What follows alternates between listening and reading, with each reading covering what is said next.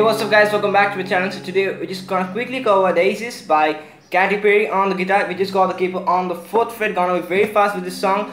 A very easy song to play on the guitar. Let's talk about the structure. We got the intro uh, verse pre-chorus chorus.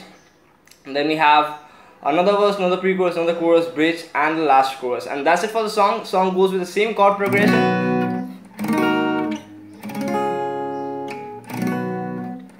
So have a look at the chords. First chord gonna be a G major, which is 3 2 0 0 3 3. B minor, which is mute 2 4 4 3 2. Then the next chord will be a A major, which is mute 0 2 2 2 0.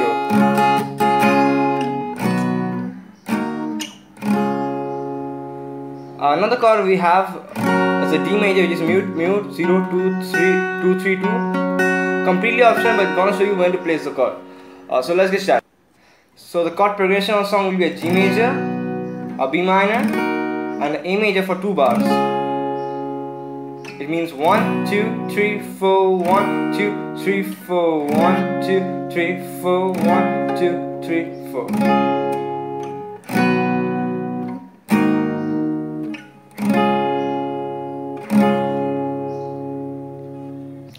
Uh, so we got the chord progression. Now let's have a look at the verse and the intro. We're just gonna go with simple downstroke.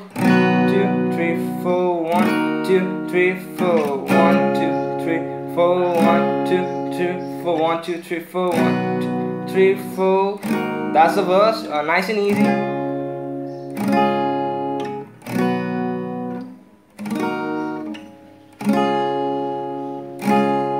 Then you come to the pre-chorus and for this part I just want to show you my right hand because we just got the strumming and.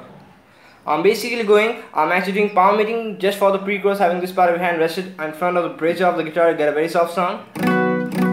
Palm muting and then we're doing the strumming pattern will be a down, up, up, down, up, up, down. So nice and easy. Down, down, down, up, up, down, up, up, down. Bonus tip, always keep your hand moving it will be much easier for you to it. Maybe a bit hard for a couple of time, but you will actually gradually get to that and you can actually sing while strumming also. That's the key.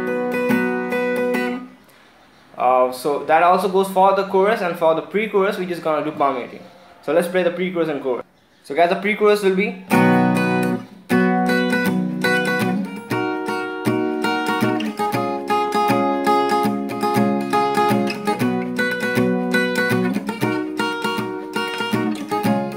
Same for the next pre-chorus after the chorus. And now we're just gonna go to the chorus.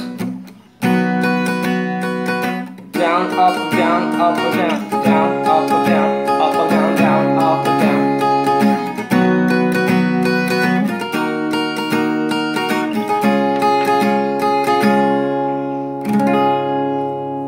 Uh, then we're just gonna go to the next verse, next pre-chorus, chorus, which is exactly same. Uh, then we have the bridge, and for the bridge, uh, we have the same chord progression. Uh, yeah, one thing I just want to tell is uh, you can actually play a G major, a B minor, and the A.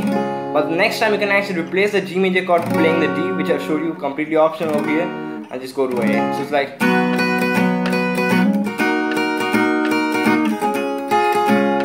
G. That's the only difference over here. I just want to make it a bit more different.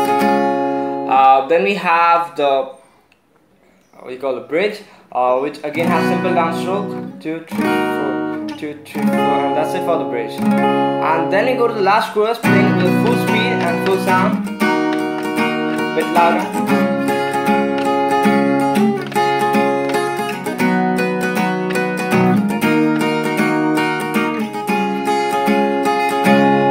That's it for this lesson guys. I hope you enjoyed this one. Subscribe uh, just 1k subs and just go to Facebook guitar review and better camera quality. And see you guys back in the next video. Then bye